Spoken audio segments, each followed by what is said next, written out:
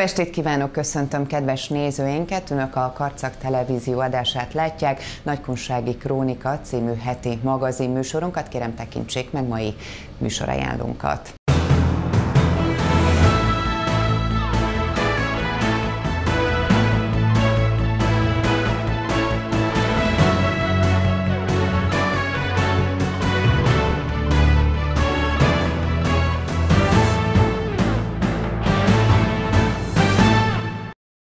Kedves nézőink, most aktuális kérdések című heti magazinműsoron következik. Mai vendégünk Nagy György Jenő, a Karcagi Birkafűzők Egyesületének elnöke, akivel többek között az Egyesület működéséről, illetve a közelgő Birkafűző Fesztiválról beszélgetünk.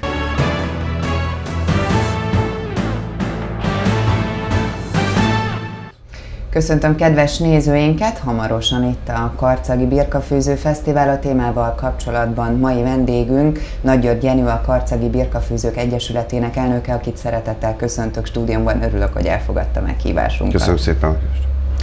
Nem fogunk arról beszélgetni, hogy mi is a jó karcagi birkapörköltnek a titka, hiszen ezt mindenki tudja. Gyakorlatilag aki karcagi minden háztartásban legalább egy évben egyszer azért asztalra kerül a birkapörkölt, a Birkafőző Fesztiválon kívül is. Mi lesz az idei Birkafőző Fesztiválon, mi az, amit önök tudnak az Egyesület részéről, hogyan készülnek erre a nagy rendezvényre? Igazából olyan sok rendezvényt szerveztünk már, vagy szervezett már a város a Déri nével közösen és az Egyesülettel közösen, hogy olajozottan mennek a dolgok. Nagyon kevés dolog van, amiben már változtatni kell. A legutolsó egyeztetésen a térképen módosítottunk még egy kicsit, hogy a főzők jobban átlássák, vagy a látogatók jobban átlássák a, területet, picit kitoltuk a nagy színpadot, ennek voltak különböző okai, katasztrófa, védelem, stb. Nem is akarom ezt ecsetelni, de igazából gyakorlatilag a helyszín ugyanaz, mint tavaly, a főzőhelyek ugyanúgy vannak kiosztva, a programokat ugyanúgy megtalálják, a borudvat ugyanazokon a helyeken, tehát a tavalyihoz képest jelentős változás az idén nincsen. 268 helyet osztottunk ki az idén, és abból most jelen pillanatban 16 van még üresen, tehát még aki esetleg nem nevezeti szeretne, az még megteheti. Az Egyesületük milyen aktivitással vesz részt ennek a rendezvénynek a szervezésében? Mi is az önök feladata egészen pontosan? Hát a szervezésében már gyakorlatilag ketten-hárman veszünk részt, igazából az Egyesület teljes egészében a főzésbe vesz részt, hiszen nélkülünk nem is lenne ez, hát birkát kell főzni, és az Egyesületnek természetesen ez a célja. Tehát az 53 emberből, aki az Egyesület tagja, körülbelül 48-an részt vesznek és főznek birkát, nem is egyet, nem is kettőt, valaki többet is. Hogyan kell ezt elképzelni? Ugye az elmúlt években, ha jól emlékszem, beszélgettünk arról például tavaly is, hogy az Egyesület egy sátrat állított oda, tehát gyakorlatilag aki arra járt, az tudta, hogy itt ez a Karcagi Birkafőzők Egyesületének a, a sátra. Készülnek az idén valami hasonlóval, vagy hogyan valósítják meg a részvételt? Mindig készülünk, ugyanazokon a helyeken vannak a főzőink szinte, mint eddigi korábbi évekhez hasonlóan. A Kálmán utca és a József Attila utca vonalába szoktak lenni a főzőink, meg lehet őket ismerni, ugye sikerült egyen pólókat is beszereznünk, szépen Most is egy ilyenben van, igen, hogyha jól ilyen látom. hasonló pólóba például szépen ki vannak öltözve, akár parasztosan, akár így egyesületi színekben, tehát én úgy gondolom, hogy meg lehet őket ismerni, rendezett a környékük, biztosan vagyok benne, hogy ez, ez mindig így van, úgyhogy kiállítjuk a mi sátrainkat is természetesen, hogyha olyan látogató jön, aki esetleg nem tudott vásárolni, azt meg tudjuk még kínálni, vagy meg tudjuk kóstoltatni. Illetve hát nekünk is vannak azért természetesen vendégeink más közösségek részéről, és akiket ilyenkor meghívunk, elhívunk, és akkor vendégül látjuk őket ott. Ugye már azt is lehet tudni, illetve az elmúlt éveknek az a tapasztalata, hogy akár országhatárokon kívülről is érkeznek erről a, erre a rendezvényre, illetve az ország számos pontjáról. Amikor megkeresik önöket a rendezvényed, oda mennek kóstolni, akkor kérdezgetnek-e főleg a vidéki és a külföldi emberek erről a híres karcagi ételről? Mi az, amit el szoktak önök nekik mondani, és akár itt beszélhetünk arról, hogy mi a titka a karcagi birka pörköltnek? Mindig elmondom, hogy nincsen benne titok. Természetesen a, mindenki érdeklődik, akik akik messzire jönnek, hiszen a helybe élek, nem csak a helybe élek, a kunságban, a környéken élők, azok tudnák birkát főzni.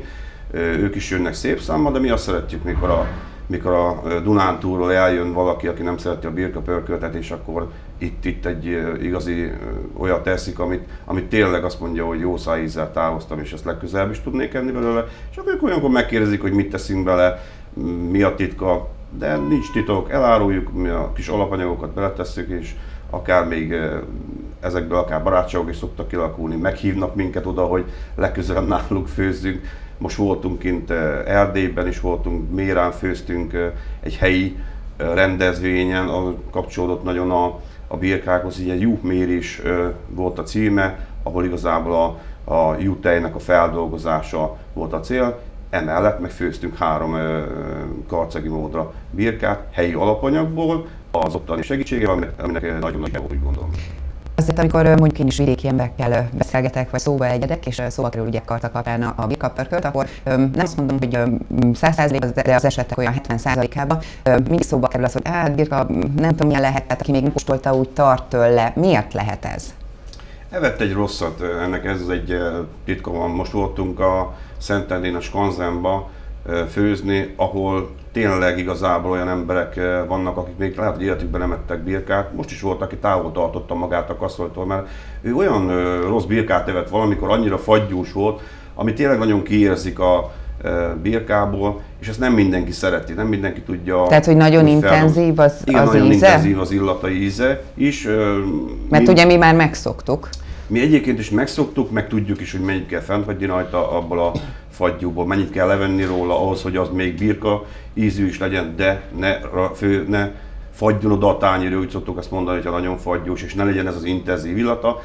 Meg nem is tudják úgy megfőzni, meg valljuk be őszintén, mint mi máshol. Tehát ez biztos, hogy sokkal jobb, úgy gondolom, nem véletlenül lett ez hungarikum hogyha így az Egyesület tagjait nézzük, és róluk beszélgetünk, ugye azt mondta, hogy 53-an azért részt vesznek ezen a rendezvényen.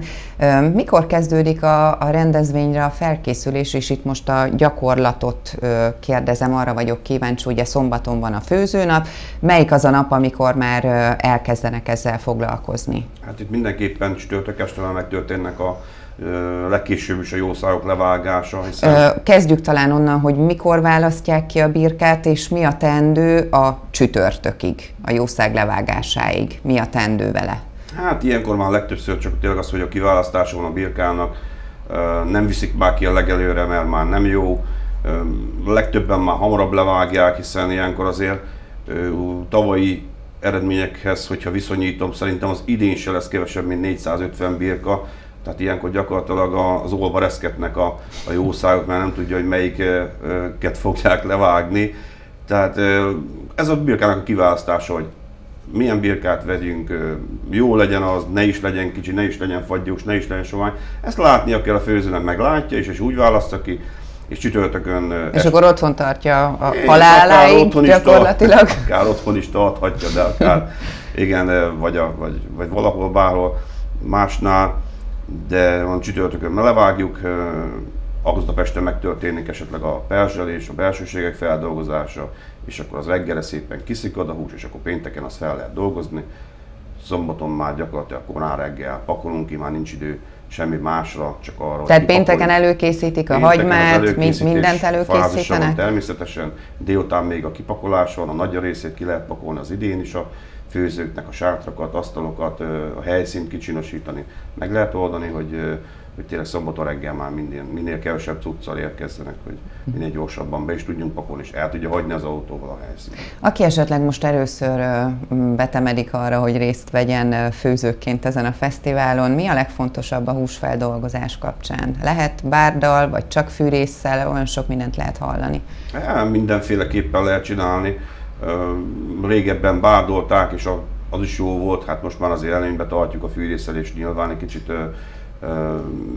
finomabb lesz a hústől, vagy a csont nem lesz olyan éles, nem lesz olyan szilánkos, hogy az aljába szokott legtöbbször a szilánk ott marad. Én azért javaslom most azért már a fűrészelést, bár erre Béres Mihályi Piroska mondanád, hol marad a hagyomány, hát kisfiam, még vádoltuk, ebben teljesen igaza van Piroska néninek, de én azért azt javaslom, aki még most kezdi, hogy nyugodtan fűrészelheti, és akkor hozzá el, nem fogja megbánni azt se.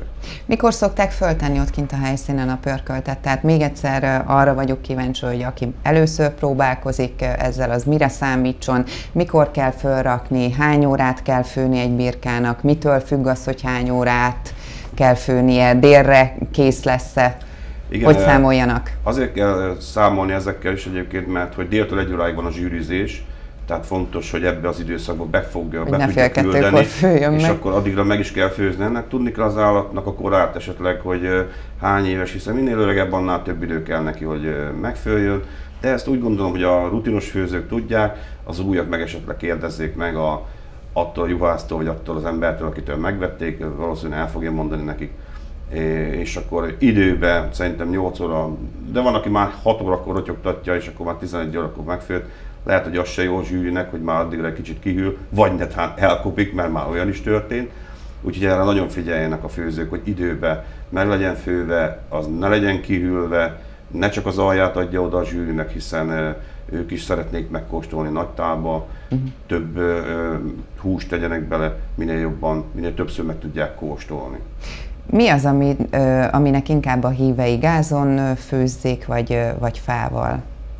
Változnak a vélemények, ki hogy szereti. Vagy van egyáltalán különbség? Hogy, hogy ne lenne ez Tehát olyan, mint a, ízben. Persze, bele, bele, úgy mondjuk, hogy beleszállnak a kis füstnek a, az íze. Biztos, hogy sokat jelent egy birkapörköltnél, hogy mivel van főzve. Gázzal úgy gondolom, hogy egy kicsit könnyebb főzni, hiszen begyújtja az ember, és akkor csak egy karmozdítással tudja állítani a, a, a lángnak a nagyságát a fával meg azt tudni kell bánni, mindig rakni kell rá, folyamatosan teszi rá az ember a, a fát, hogy mindig legyen rajta tűz, de ne legyen sok. Mm. Ha nagyon fő, akkor lejjebb vegyen róla.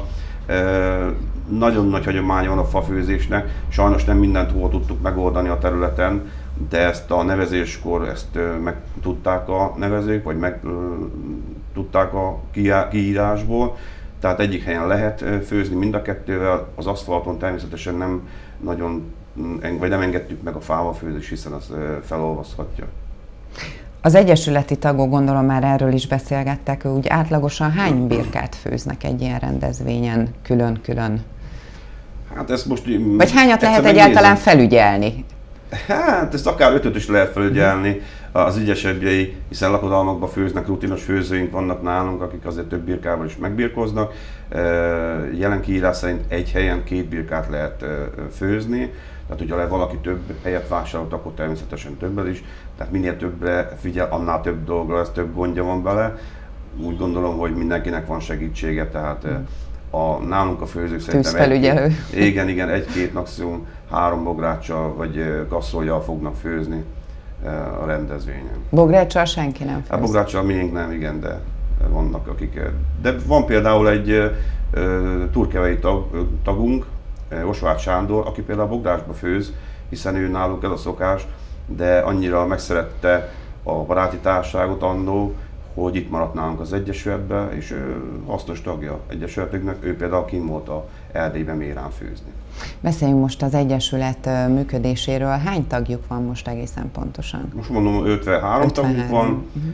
Ebbe... Legidősebb, legfiatalabb? Ebből a Székely Imre bácsi a legidősebb, most pontosan 90 mm. környékén van. Most feltöltésen volt a múltkor, nem tudott megjelenni az egyes ülésünkön, hiszen nagyon készül a fesztiválra, és akkor ilyenkor ő neki már az egészsége miatt úgy, úgy mondja, hogy feltöltésre beszokott menni az orvoshoz. A legfiatalabb tagunk meg a főzőknek az unokái, akik ugyan még nem teljes értékű tagok, de látom rajtuk, hogy előbb-utóbb részt fognak venni majd az Egyesület életébe is. Beszélgettünk arról már, hogy minden évben tartanak évértékelő, évzárót, illetve azt mondta nekem hogy a, az interjú előtt, hogy legalább négyszer azért tartanak gyűlést, találkoznak. Hogyan értékelték a, a tavalyi működésüket, a tavalyi évüket? Volt a tavalyi év nagyon mozgalmas volt, A tavalyi évben 46 helyen összesen 96 birkát főztünk meg, különböző helyszíneken. Két kiránduláson vettünk részt, voltunk egyszer Mohácson a februárban, illetve szeptember végén, november elején pedig Kecskeméten, Lajos Mizsén voltunk egy nagyszerű csapatépítő kiránduláson. Tehát rengeteg helyre hívnak minket, és akkor ebben még abban a 96 birkában nem volt benne a, a fesztivál, hiszen az már szinte gyakorlatilag átlagosnak mondható, hogy minden évben ugyanez, ugyanazok az emberek vannak, és mindenki főz, azt már nem is számoltuk be. Tehát az Egyesületnek a, az összes rendezvénye az mondom 46 volt, ami nem kicsi szám, én úgy gondolom. Ebben gyakorlatilag az Egyesületnek a, azt gondolom, hogy az 50%-a részt vett, tehát így főzéként, vagy csak résztvevőként, vagy csak segítőként, de e, szeretnek menni, én úgy gondolom ezekre is, és e, pályázatokat is nyújtottunk be. Milyen pályázatokat, e, a pályázatokat említi? Mire lehet pályázniuk? A Nemzeti Együttműködési Alapnál pályáztunk szakmai pályázatot is nyújtottunk be, illetve működés célú pályázatokat is nyújtottunk be, hiszen az Egyesületnek vannak költségei, amiket, amiket fenn kell tartanunk, akár a postát, akár az internetet, akár a, bevezetést nézem, vagy bármit, hogy ezeket el kell látni, és ezekre így mindig pályázni. Akár a szakmaira viszont főzéseket pályázunk, hogy el tudjunk menni, és ott ne kelljen fizetni azért a birkái, hanem szétosszuk a, mm, azon a városba, helyen, ahol vagy rendezvényen, ahol megyünk, és ez kóstoltatással gyakorlatilag még több embert tudunk a birka szeretetére rávenni, mint hogyha pénzért adnánk, hiszen akkor egy normális adag egy birkával 40-50 tud kijönni, de amikor kóstoltatunk 100-100 is ki tudunk adni, és, és az pont elég arra, hogy megismerje, megérezze azt az ízt, még hogyha nem szereti akkor is amikor elmennek egy-egy ilyen főzésre, ugye említette, hogy rengeteg felé meghívják önöket, akkor ezt ön koordinálja, vagy hogyan érkeznek a megkeresések, hogyan döntik azt el, hogy, hogy ki hova menjen főzni, bemutatózni gyakorlatilag? Igen, hát az Egyesületnek a, az e-mail címe is hozzám fut be, így legtöbb most már az internet világába így történik szinte koordinálása interneten keresztül. Én oda, ha felkeresnek minket, akkor én adok rá egy ajánlatot, esetleg, hogyha pályázatunk van, akkor mm, tudom biztosítani hozzá hozzávalókat, akkor nyilván a költsége is jóval kevesebb. Ismernek már minket, távoli közösségek, más közösségek is hívnak, keresnek, nyilván a, az ő rendezvényüket is fel kell dobni valamivel, egy újdonsággal, akár is egy főzéssel, és hát, és ahogy Csontos Gyuri bácsi mondta, hogy jó-jó, hogy táncolnak a, a, a táncosok, de utána megéheznek, és akkor majd jönnek oda birkát tenni hozzánk. Tehát egy, egy jó alkalom ez, hogy, hogy beszélgessünk ezekkel az emberekkel, akik meghívnak minket. Úgyhogy a legtöbb, legtöbb program megkeresés az hozzám fut be, de mindig vannak egyéni programok, hiszen már sok helyen jártak a főzőink, saját kapcsolatokat is kiépítették, énestől kezdve valamikor ő maguknak szólnak, legtöbben szeretnek ugyanoda visszamenni, hiszen keresik őket, várják őket, hogy sőt kérik, hogy az menjen vissza, mert már megismerték, tudják, hogy jót főzött. Tehát ilyen is van, de a legtöbb koordinálást én végzem nyilván az Egyesületnél. Igen. Most egy gonosz kérdés fogok föltenni. Van-e rivalizálás a tagok között?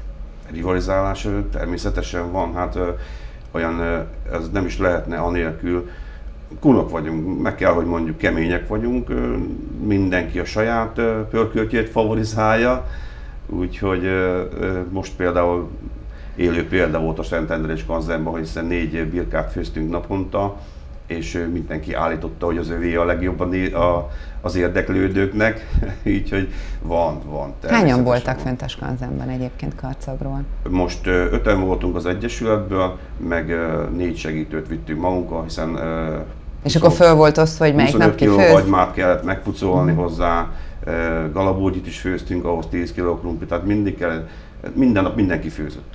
Minden nap mindenki főzött, és kellnek a segítségek, kellnek az osztásnál is, hiszen olyankor általában megrohamoznak minket. Megpróbáltuk ugyan eltolni egy picit időbe a főzéseket, hogy mindig, mindig legyen készen friss birka de sikerült is úgy gondolom. Köszönöm szépen, hogy eljött hozzánk egy beszélgetésre, és sikeres felkészülést kívánunk, és sok-sok finom pörköltet a birkafőzőre. Köszönöm, hogy itt volt.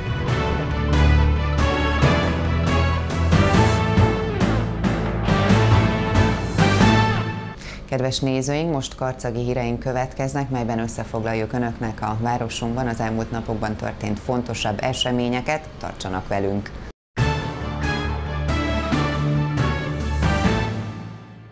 Hősök napján koszorúztak a Karcagi város vezetői. Az ünnepet a második világháborút követően a kommunista diktatúra eltüntette a naptárból.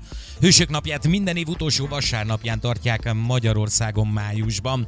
Eredete 1917 évi 8. törvényre vezethető vissza. Ebben mondták ki először, hogy nemzetünk hősi halottainak kegyeletteljes tiszteletét megfelelő módon kifejezésre kell juttatni. Az ünnepet a második világháború követően a kommunista diktatúra eltüntette a naptárból, majd a rendszerváltozás követően került ismét vissza a köztudatba. Karcagváros önkormányzata és lakossága nevében május 26-án Dobos László polgármester, Gyurcsák János alpolgármester és Rózsa Sándor jegyző a hősi halottakra emlékezve koszorút helyezett el az első, a második világháborús emlékműnél és az Erzsébet ligetnél található Levente emlékműnél.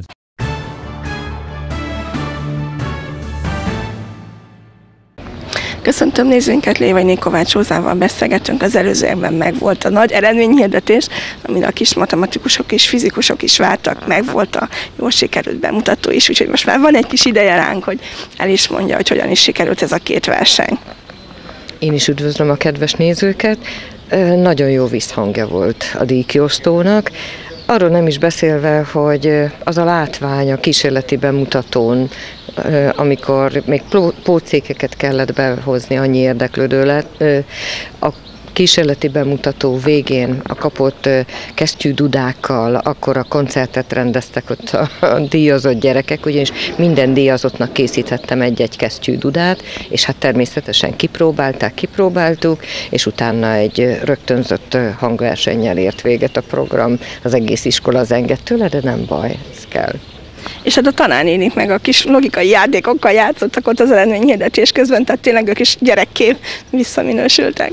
Korábban virágot, könyvet, mikor mit vásároltam a felkészítő nevelőknek, most egy hirtelen jött ötlet, úgy gondoltam, hogy így évvégéhez közel már nem árt egy kis feszültségoldás, egy kis feltöltődés a kollégáknak, erre meg nagyon jók ezek a logikai türelem játékok, arról nem is beszélve, hogy a tehetségpontunk logójával ékesítve, egyúttal a reklámhelye is, hogy kirendezi ezt a versenyt, vagy ezeket a versenyeket, és úgy úgy tűnt, hogy sikere volt, mert a, az eredmény hirdetés vége fele egyre nagyobb volt az alapzaj. Minél több kollega kapta meg a kis játékát, annál többen kezdtek el vele már próbálkozni, mint a gyerekek akkor lehet, hogy jövőre a könyvek helyett a gyerekek is valami hasonlót fognak kapni, ez majd akkor kiderül, de egyébként hogyan értékeli a versenyt, a tavalyihoz képest többen voltak, hogyan sikerült? Az alapműveleti matematika verseny egy országos felmenő rendszerű verseny, annak a megyei fordulóját koordinálom, az közel azonos diák versenyző kört mozgat, egy olyan 280 fő körüli versenyző volt ebben az évben. Fizika plusz verseny, ami most már hetedik éve volt, előtte 15 éven keresztül a fizika próba verseny, akkor ilyen 1500-1600 fős versenyzői gárda volt évente. A fizika plusz annyiban másabb, hogy iskolánként, évfolyamonként három-három versenyző kap lehetőséget, pontosan azért, hogy kezelhetőbb legyen. A, a pénztárcánk is szűkösebb, nehezebb volt mozgatni akkor a tömeget, 20, 15 év az pontosan elég volt erre, a népszerűsítésre. Most 300-nál többen versenyeztek, annyival volt talán másabb több, hogy egy új helyszín lépett be, 60 városában is tartottunk egy fordulót. Az a mm, Csillag Imréné Rózsa barátnőm, akivel az legelső versenyt meghirdettük, a a próbaversenyt.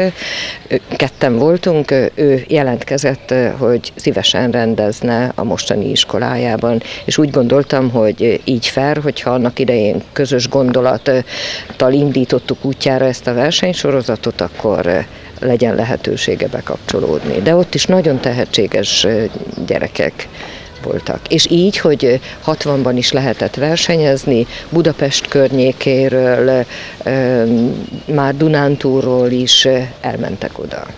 Igen, tehát azért hallottunk itt olyan idegen, számunkra idegen település neveket is, hogy nem is tudtuk hirtelen, hogy ők hogy kerültek ide, de akkor erre is magyarázatot kaptunk. Én akkor azt kívánom, hogy legyen jövőre is ennyi energiája és támogatója, hogy meg tudja rendezni mindkét versenyt. Köszönöm szépen, igyekszem majd feltöltődni előtte.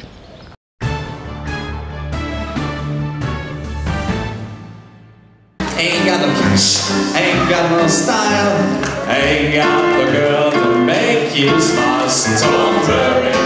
Ne aggódj, nyugodjon meg, lay happy. Oh yeah, yeah, yeah, so when you're wearing your face feel proud, and that will bring everybody down, so don't worry. Csak nyugi, és légy happy, csak nyugi, légy happy már.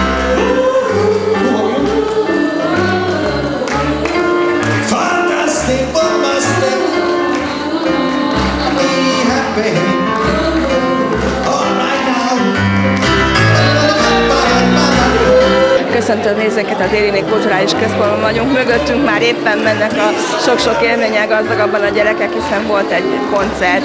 A koncert szervezőivel Szilágyi Lajossal beszélgettünk. Kiket hozott le karcagra? Gyakorlatilag azt tudom mondani, hogy a környék tíz intézményéből jöttek ide, fogyatékkal élő képek, egészségesek, Bánhalmától, Tiszafüreden keresztül, Karcak, Kisújszállás, gimnáziumból, általános iskolából, nagyon nagy élmény, úgyhogy még most is a hatása alatt vagyok, iszonyatosan jó érzés volt látni ezt a koncertet. Ha nem adom fel koncertjét hallhatták itt az előbb, akik itt voltak, de hogyan kapcsolnak önök ehhez az együtteshez, és egyáltalán mi ez az alapítvány? Megtaláltuk ezt az együttest, már magát a koncertet, voltunk már ilyen koncerten, és pont az volt számunkra az egyik legfontosabb ebben, a, a, amit láttunk, hogy gyakorlatilag épek és sérültek együtt tudnak élni, együtt tudnak élményhez juttatni másokat, és ezt akartuk ide elhozni a térségbe. Úgy gondolom, hogy sikerült, hiszen a Dérini az telt volt, úgyhogy eszméletlen jó volt ezt látni, és szeretnénk még minél több ilyen hasonló programot idehozni Karcagra. Mi ismerjük egymást, ez nem titok, hiszen kis szálláson össze találkoztunk, tehát tudom, hogy van egy fogyatékos gyermekük, tehát innen az egész alapítvány indítatás is.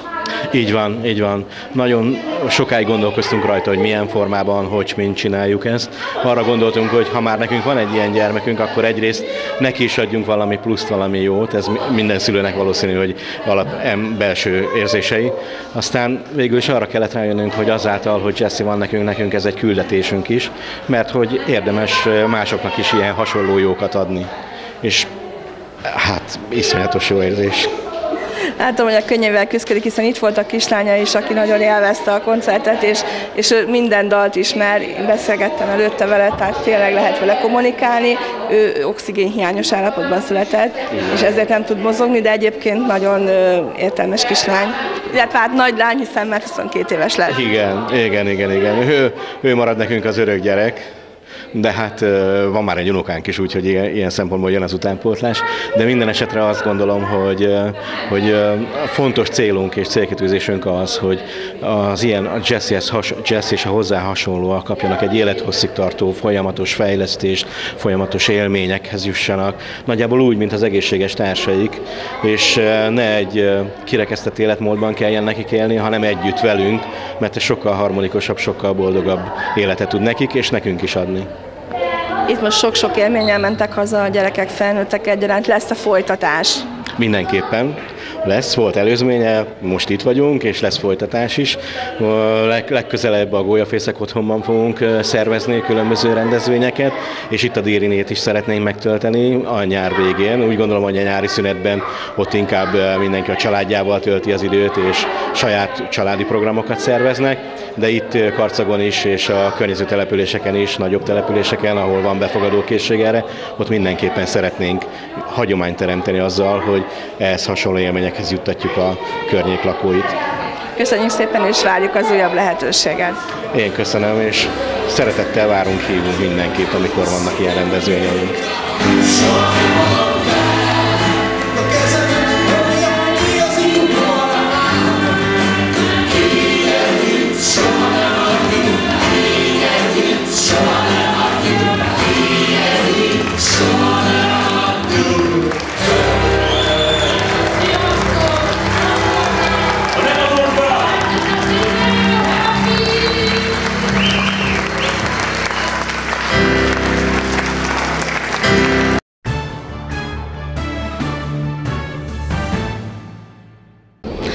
Dr. Fazekas Sándor főmesi miniszter úrral beszélgetünk itt a túros tábla előtt, hiszen ismét Karcag lesz az egyik megállója ennek a nagyon szép rangos versenynek.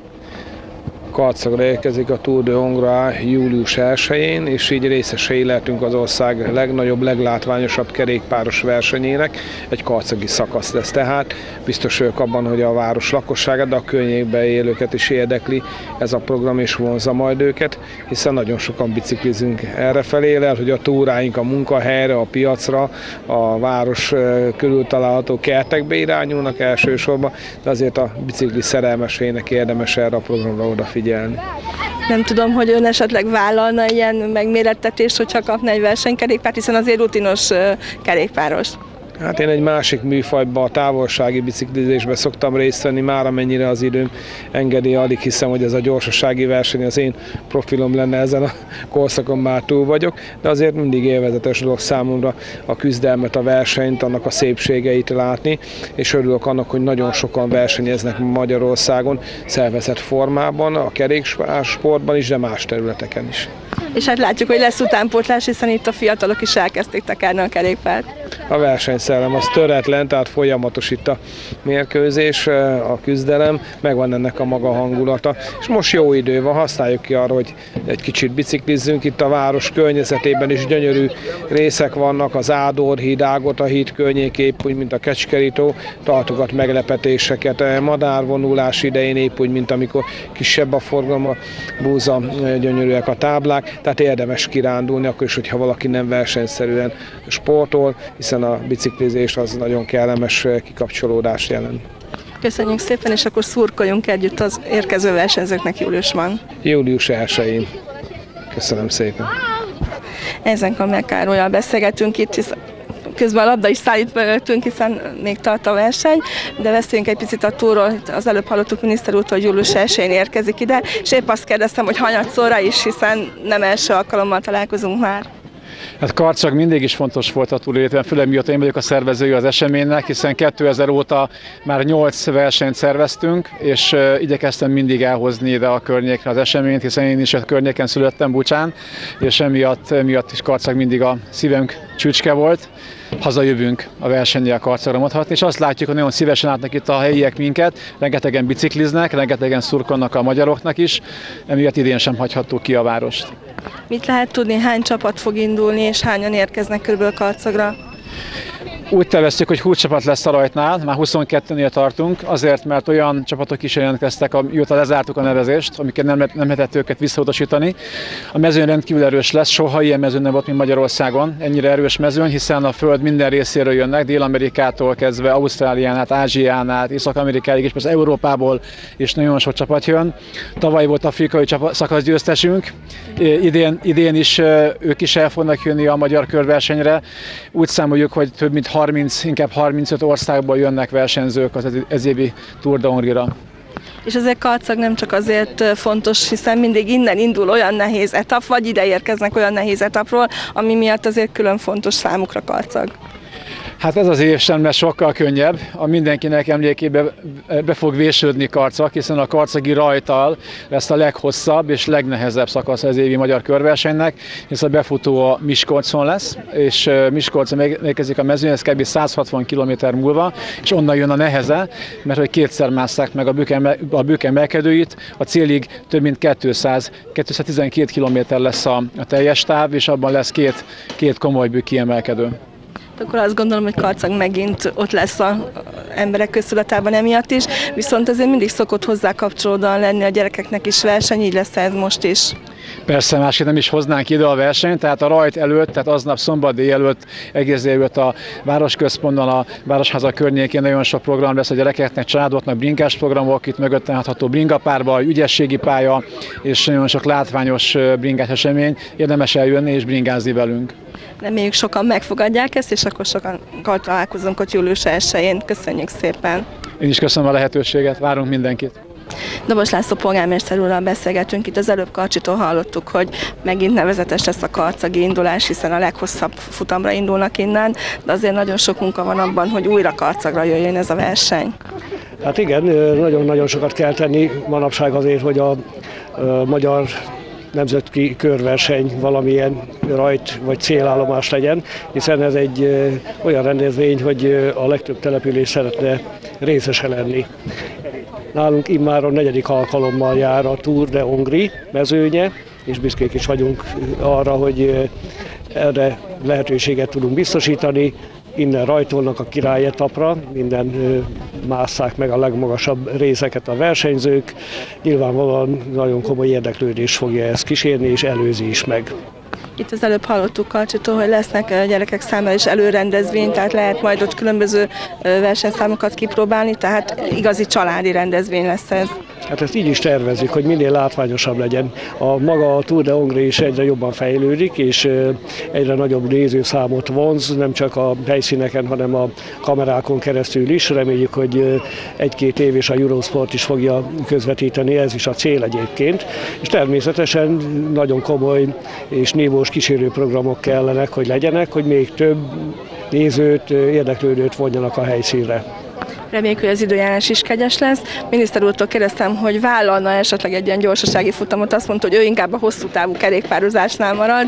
Ön esetleg egy ilyen hegyű menetet? Hát én azt hiszem, hogy ezek a versenyzők annyira profik, hogy az esélytelenek nyugalmával battyognánk utánuk, tehát ez egészen másról szól. Ez nem tömegsport, ez nem szabadidősport, itt kőkemény napi edzésben éleződő versenyek, versenyzők szerepelnek, és csak az ők tudják kibírni ezt a hihetetlen nagy távot napról napra, tehát itt az esélytelenek nyugalmával indulhatnánk. Szerintem 100 méter után már a port látnánk legfeljebb, amit vernek, semmi egyebet. Ettől függetlenül nyilván én szeretek kerékpározni, de hát úgy az a tudás az egészen más. Akkor azt gondolom, hogy azt mind a ketten elmondhatjuk, hogy csodálattal nézzük majd őket, ahogy innen elstartolnak karcagról. Hát hogy én úgy gondolom, hogy aki bármilyen ilyen körversenyt egyszer is látott, akár a Giro d'Italiát, vagy a Tour de France, vagy bármelyik egyéb más nagyon komoly kerékpáros körverseny, bármelyik szakaszát, tehát ez láthatja, hogy ezek a versenyzők valami emberfeletti teljesítményre képesek, és hát én magam csodálattal figyelem az ő teljesítményüket, mint más egyéb kiemelkedő sportágak versenyzőit is, le a kalappal előttük, minden figyelmet megérdemelnek. Köszönjük szépen! Köszönöm a lehetőséget!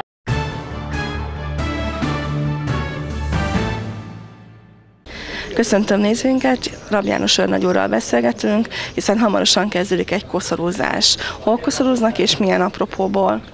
Az egykori Hemó épületénél koszorúzunk, most ifjúsági ház, illetve hát most már könyvtárként funkcionál.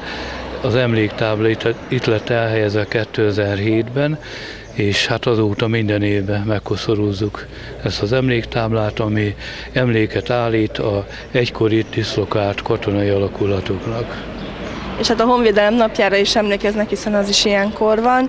Kik jönnek ma? Úgy tudom, hogy nem csak Karcagról, hiszen sokan elkerültek innen, amikor bezárt a laktanya. Velük is tartják a kapcsolatot?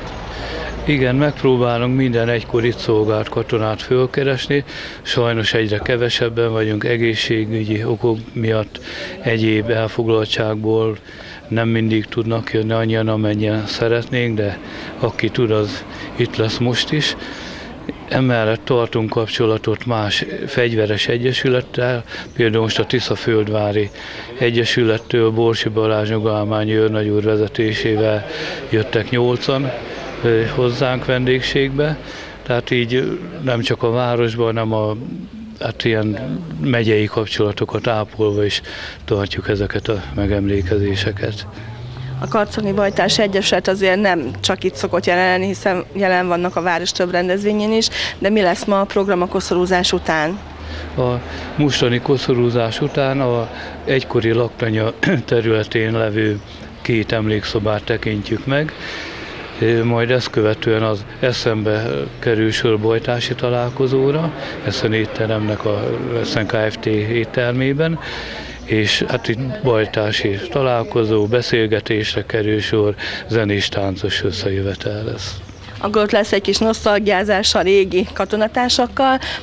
Itt említette az emlékszobát, nem biztos, hogy minden nézőnk tudja, hogy ezt hogyan lehet látogatni, hol található ez pontosan, hiszen mondjuk el. A egykori laktanya területén található, 900 számú parancsnok épület első emeletén a folyosó végén van két emlékszoba berendezve, amit Egyesületünk megkapott az önkormányzattól, és hát itt állítottunk emléket a egykori laktanyának, a katonai emlékeknek, berendezési tárgyaknak, ez, ez a két szoba megpróbálja felölelni az egykori katonai életet.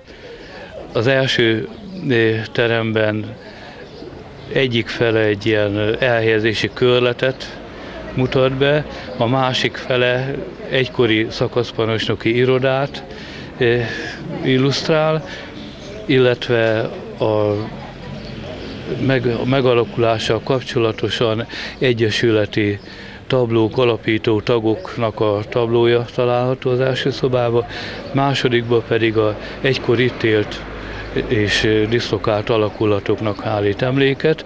Elsősorban a e, Kapisztrán János e, kerékpározzászlóinak és a húzamosabb ideig itt lévő páncéltörő és légvédelmi tüzér alakulatoknak. Ön hány évig szolgált a karcagi laktanyában? Igen, hát két alkalommal volt szerencsém itt szolgálni, 1980-tól 90-ig, még az élő alakulatoknál, vagy 96-tól 2004-ig pedig a raktárbázison megszűnéséig. Akkor azt gondolom, hogy önnek is vannak innen szép emlékei, akkor én azt kívánom, hogy gyarapodjon esetleg még újabb tárgyakkal is ez a két emlékszoba, hiszen biztos vannak régről olyan fotók, amit még esetleg szívesen odaadnának önöknek. Igen, biztos, hogy van, várunk ilyen fotókat, emléktárgyakat, nagyon szívesen veszük, bárki elhozhatja. Az emlékszobát mi tudjuk bemutatni, tulajdonképpen iskoláknak is szívesen felajánljuk megtekintésre, illetve hát érdeklődőknek, egykori katonáknak vagy lakosság részére is. Köszönjük szépen! Köszönöm szépen én is!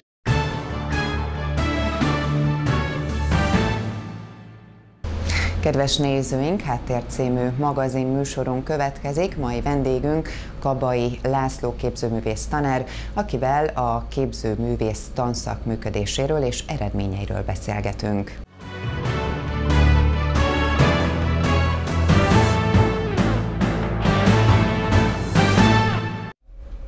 Köszöntöm kedves nézőinket, mai vendégünk Kabai László képzőművész tanár, aki az Erkel Ferenc Alapfokú Művészeti Iskola képzőművészeti tanszakának vezetője. Szeretettel köszöntöm stúdiónkban, örülök, hogy elfogadta meghívásunkat.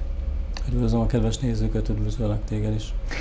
Egy ö, nagy rendezvényen vannak túl, egészen pontosan a tegnapi napon tartottak egy kiállítást, és azért hívtuk ma meg egy stúdióinterjúra, hogy beszélgessünk a tanszak múltjáról, jelenéről, jövőjéről, tehetséges ö, gyerekekről. Talán kezdjük azzal, hogy ö, mutassuk be ezt a képzőművészeti tanszakot a kedves nézőknek. Mit lehet erről tudnunk, mióta működik ez, mióta vezeti ön ezt a tanszakot? Hát gyakorlatilag ez a tanszak 2015 óta nem jól mondom, 2005 óta működik, kisebb megszakításokkal vezetem. Hát általában a kézművészeti alap készségek elsajátítására szolgál, tehát festészet, mintázás, rajzolás, szintan, térábrázolás, megyé dolgok, tehát például landalt is, ha is foglalkozom, meg egyéb perifériás kézművészeti tevékenységgel. Ez általában szól általános iskolásokról kezdve egészen középiskolásokon át, de fogadunk bármilyen egyéb tanulókat is, vendégeket, akár 20 éveseket is, vagy akár 30 éveseket is, egyéntől függő, tehát lehet jelentkezni egészen kiskortól egészen a középkorig. Van egyébként ide valami úgy mondta, hogy szokták mondani beugró, tehát kell valami alaptehetség hozzá, vagy pontosan azt a célt szolgálja ez a tanszak, hogy fejlesz a gyerekek képességeit? Hát végül is arra szolgálna, hogy az általános iskolai tanulmányok kiegészítéségéppen, ugye, mert hogy tudni vele, hogy a kultának a óraigénye, óraszám az elég silány, tehát heti egy óra, tehát valószínű, hogy A szervezőknek a célja volt ez, hogy ezzel a kézművészeti tagozattal kiegészítsék azoknak a tanulóknak az igényét, akik ugye akarnak ezzel, ez irányba esetleg érdeklődni, vagy tovább tanulni. Igen, tehát ez egy olyan dolog, hogy azt a célszolgálja, hogy egyrészt aki szeret, kedvet, tehetséget érez, vagy tovább tanul ebbe az irányba, vagy egyszerűen csak kreatív is szeret ilyeneket csinálni. Tehát nem fontos abszolút zseniálisan festeni, meg rajzolni, meg na, óriás tehetség rendelkezni, mert nem, nem azon múlik semmi, nem a, minden fejbe dől le. Tehát valakinek van igénye rá, meg lehet tanítani rajzolni, például festeni valakit, akárkit meg lehet tanítani. Tehát aki úgy érzi, hogy ő tehetségtelen, merem állt, vagy egy pár hónap alatt, vagy akár egy év alatt elég jól meg lehet tanítani rajzolni, meg festeni. Az egy más dolog, hogy nem lesz belőle művész, vagy ha nincs hozzá belső intuíciója, meg szellemi érzékenysége, akkor lehet, hogy nem, de viszont mint mesterség lehet fejlődni. Tehát vannak ilyen alapfogások gyakorlatilag, amit meg lehet tanítani? Így van.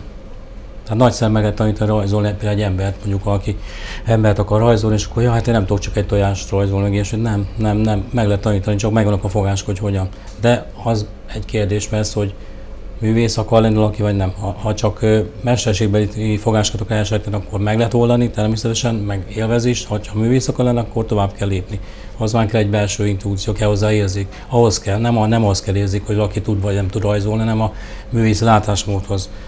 Ahhoz kell plusz érzék. De ettől természetesen bárki jöhet, és aki azt mondja magára, hogy nem tud rajzolni, az is biztos, hogy jól fogja magát érezni, mert vannak olyan feladatok, amiben ki tud teljesedni, illetve tud fejlődni. Kiknek ajánlja egyébként ezt a tanszakot? Most itt nem arról vagy arra vagyok kíváncsi, hogy tud-e rajzolni, nem tud-e rajzolni, hanem mondjuk ilyen pszichológiai hatásai vannak-e annak, hogy valaki ilyen dolgokkal foglalatoskodik? Igen. képzőművészetnek ez az ága, tehát például a festészet a színekkel is foglalkozik, sőt, hát főleg azzal foglalkozik, ennek van terápiás hatása is, tehát a színeknek nem csak pszichológiai, fiziológiai, hanem, hanem komplex hatásai vannak. Tehát nem véletlenül alkalmazzák olyat, hogy olyan, hogy színterápia például. Tehát ha valaki színekkel foglalkozik, akkor bizonyos hatások érik előbb-utóbb. Ezek lehetnek pozitívak, persze meg lehetnek negatívak, de igenis van neki ilyen hatása is. Az tanszakon most jelen pillanatban milyen korú tanulók, diákok vesznek részt a foglalkozásokon? Most például az általános iskola alsó tagozata, általános iskola felső tagozata, és van néhány középiskolás diák, ezek két csoportra vannak osztva. Uh-huh. Egyik a, ugye a kicsik, úgy mondjuk, hogy kicsik, az mm, elsőtől negyedik osztályig, és a másik csoportban pedig vannak az 5 8 illetve a középiskolásokból van, azt hiszem két tanulom, vagy kettő tanulom van ilyen. Uh-huh így vannak beosztva. Most összesen hányan vannak? Most 18-an vannak, két csoportra osztva. Uh-huh. Vannak ugye azt mondta a nagyok, meg a kicsik, gyakorlatilag mind a két csoporttal ugyanúgy kell foglalkozni, ugyanazt tanítják esetleg nekik, vagy teljesen más bánásmódban kell, hogy részesüljenek. Tehát máshogy kell -e őket terelgetni? Vannak, amik megegyeznek, vannak, amik nem. Tehát igyekszem őket úgy tanítani, vagy oktatni, hogy a, a téma, illetve a mondjuk egy technológia egy témánál ugyanaz van, mint a kettőnél, csak a maguk szintjén oldják meg. De van valami különböző, tehát valamit nem lehet megoldani, van, akit csak a nagyobb, a nagy korcsoporttal lehet ilyennel foglalkozni, hát vannak alapvető dolgok, hogy például anatómia, vagy mondjuk egy koponya rajzot, azt valószínűleg egy alsó tagozatosra nem fogunk megoldani. Meg lehet próbálni persze, meg realistán, tehát modellután rajzolni meg lehet, meg szoktam is, de nem az az elsőleges csapás irány, mert ők még egy más világban vannak, még ők, még, ők még a régi gyerekvilágot idézik, rajzokat, műveket készítenek, ők vannak az a határon, amikor már kezdenek kinyílni, illetve ugye próbálnak rácsalálkozni a háromdimenziós világra, és ők próbálnak majd ők is egyszer elkezdeni rajzolni ami, ami ugye papíron két dimenzióban, három dimenziót akarnak ábrázolni, és a nagyok azok már nagyon szeretnék ezeket, hogy nagyon szépen tudjanak rajzolni. Ez nagyon fontos a gyerekeknél, hogy, hogy előbb-utóbb azt gondolják, hogy, hogy nekem én jó szeretnék tudni rajzolni. Pedig hát nem biztos, hogy ez ez csak egy technológia, mondtam már, ez egy mesterségbeli dolog, ez nem művészet, ez csak egy technológia. A kicsiknek viszont nagyon varázslatos világuk van, teljesen egyéni. Ők még tiszták, még nincsenek elrontva. Mert a gyerekeket bajuk, hogy elrontjuk. Kb. 5. után elrontjuk, meg elkezdjük ránevelni a háromdimenziós világra. És csak arra neveljük őket, hogy így lássanak meg. Úgy közben meg hát a belső ősi világuk el fog veszni. A színlátásuk, a tisztaságuk el fog veszni. És a gyerekeknél ezt viszont érdemes még kiaknázni. Azt mondta, hogy többféle dologgal foglalkoznak, ugye rajzolnak, festenek, és említett még néhányat. Mi az, amit mondjuk a legjobban szeretnek a, a diákok, vagy mi az, ami, akkor vegyük ketté, mi az, amit szeretnek, mi az, amit ön szeret, és mi az, amivel mondjuk a legkönnyebb, illetve a legnehezebb dolgozni és foglalkozni. Én például emlékszem, hogy általános iskolában én nem szerettem vízfestékkel festeni, mert nem tudtam. Igen, ez van egy jelenség, igen, például, valaki csak rajzolni szeret, és akkor próbálom rávezetni, hogy nem szereti például a vízfestéket, mert elfolyik, és akkor próbálom természetesen rávezetni, hogy annak is van különböző fokozatai, lehet vele szárazon festeni, lehet nedvesben, ez nem azt jelenti a vízfesték, hogy igazából azt jelenti, hogy szétfestjük a vízbe a festéket, de nem, nem csak úgy lehet lefesteni, hanem fokozatosan száraz a nedvesbe is lehet. Tehát, és akkor rájönnek, hogy, hogy, hogy hogy tényleg lehet ezzel festeni, és akkor szép fokozatosan rájönnek arra, hogy hát először meg tudunk fel szárazon festeni, vagy úgy, hogy, hogy tudják kézbe tartani a technológiát, utána rájönnek, hogy lehet most már kicsit lazában, de nem azzal kezdjük a lazában, az nagyon nehéz. És van ilyen persze, van ceruza, aki ceruzával szetolt, de akkor mondom nekik, hogy lehetne tussal, tollal, és akkor az meg nem jó, mert elfolyik, meg azt nem tudják, de hát azt is meg lehet próbálni, és akiknek persze előbb-utóbb rájön, hogy hát nem is a hoz dolog ez. De valaki megvan a technológiáknál, hát valaki soha nem fogja megszeretni például a aktív festészetet, vagy olajfestészetet, van, aki meg csak festeni szeret, van, aki például a pasztelkétát imádja. Hát ezeket úgy, úgy próbálom őket, mindenki a kedvenc eszközét használja lehetőleg. De úgy meg kéne tanulni mindenkinek, meg kéne próbálni minden technológiát. Szerintem az az igazi, hogy próbálja ki magát. A tanár mit szeret a legjobban? Melyik technológiát? Hát, Vagy mi az, amivel a legtöbbet foglalkoznak? Hát végül is mindennel foglal. Én szeretem mindegyiket, mondjuk a személy szerint az aktív festészet, meg a vízfestészet, ami uh-huh. számomra közel áll hozzám. Például a sokszorosító grafika nem áll közel hozzám, tanítom azt is, de az nem.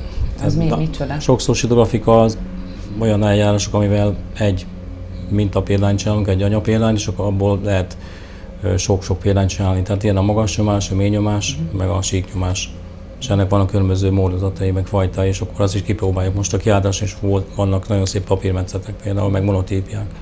Beszélünk majd mindjárt a kiállításról, mint eseményről is, de talán beszéljünk arról, hogy hogy mennyire tehetségesek ezek a gyerekek, akik erre a tanszakra most járnak, milyen eredményeket értek el az elmúlt időszakban, mert azért tudjuk, hallottunk róla, hogy voltak szép eredmények. Az elmúlt években voltak olyan sikerek, kezdődtek, ami jelentősebb, például egy országos közlekedés pályázat, egy, hiszem egy láthatósági mellénypályázatot tervezésre vettünk részt, és abban mind a csoport, mind az egyénben külön díjat nyertünk.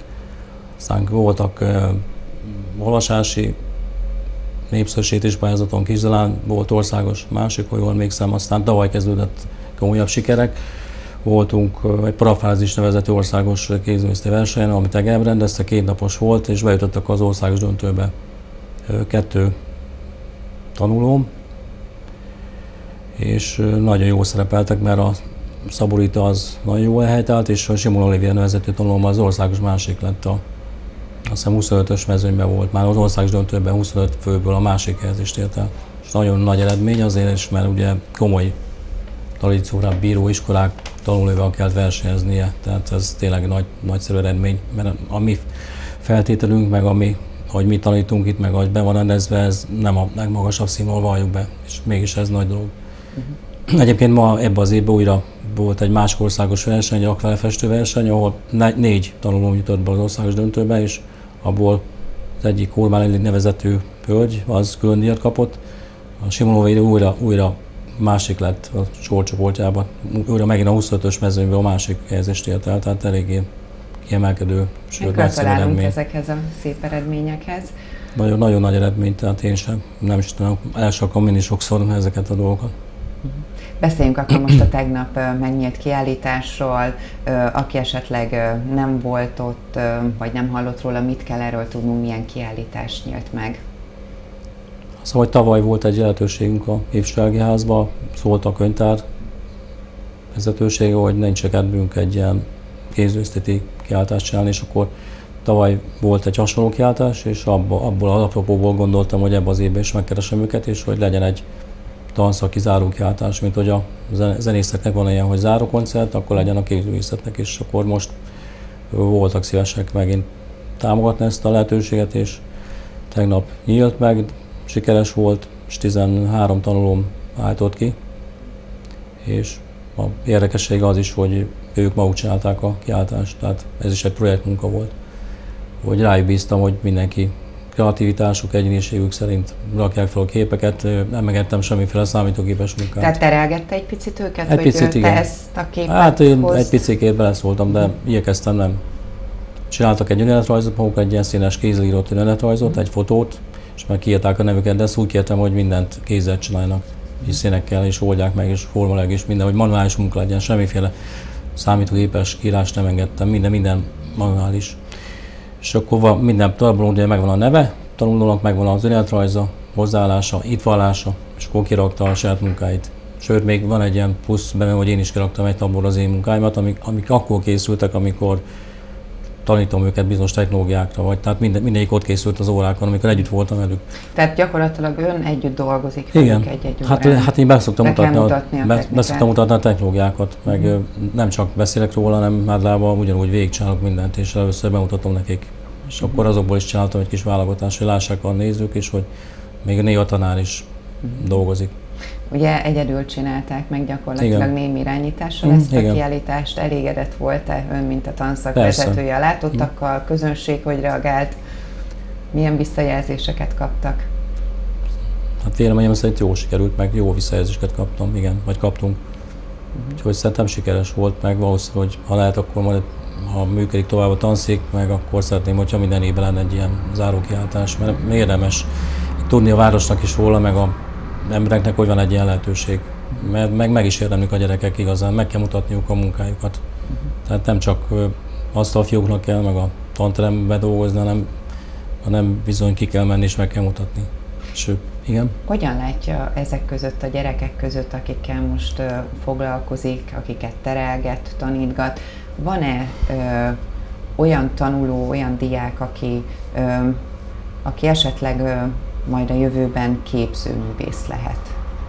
Tehát akinek nem egy hobbi, nem egy feszültséglevezetés lesz, hanem komolyan érdeklődik ez iránt, és van is hozzá akkor a affinitása is tehetsége, hogy, hogy majd művész legyen belőle a jövőben.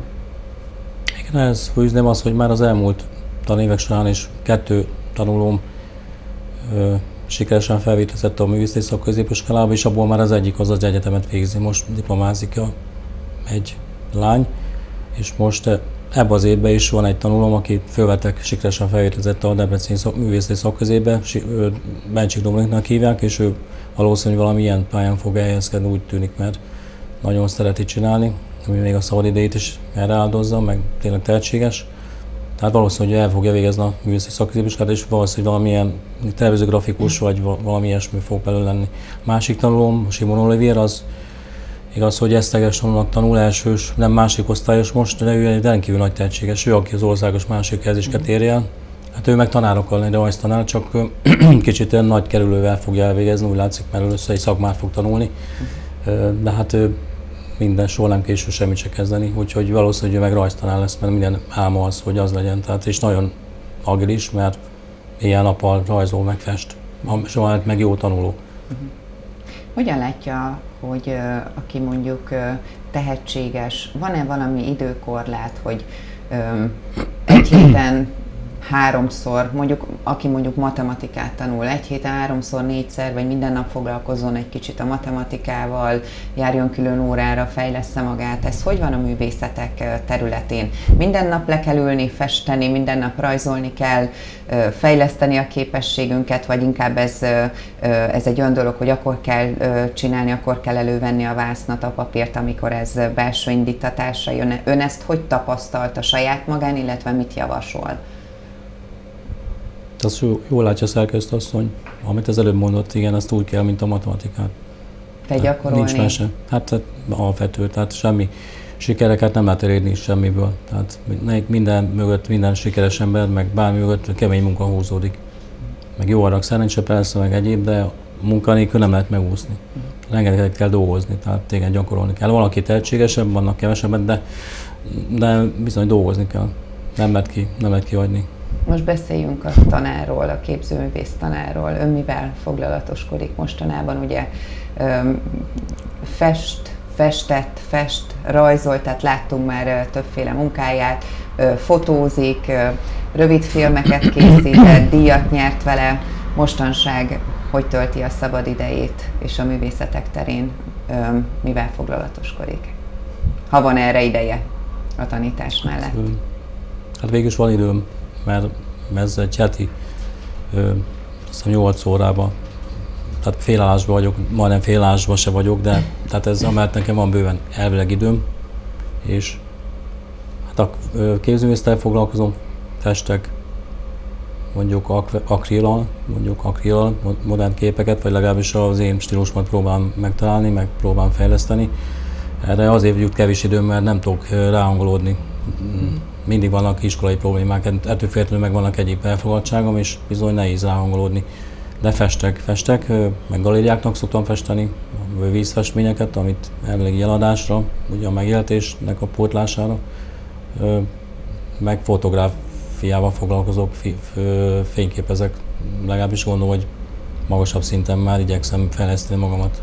Szoktam fotótáborokba járni, meg kiáltásokra, pályázatokra küldeni fotográfiákat, eladásokat tartok, sőt néha szoktam oktatni is. Ö, igen, rövid ennyi. Igen, nem, az filmkészítés az már nincsen, mert az nem egy emberes munka. Arról lemondtam, mert azt nem lehet csinálni, csak team munkába. Köszönjük szépen, hogy eljött hozzánk egy beszélgetésre, és további sok sikert kívánunk mind önnek, mind a, a kis tanszakának, és sok szép eredményt és kiállítást. Köszönöm, hogy itt volt. Én is nagyon szépen köszönöm a megkívást. Kedves nézőink, már megköszönöm figyelmüket.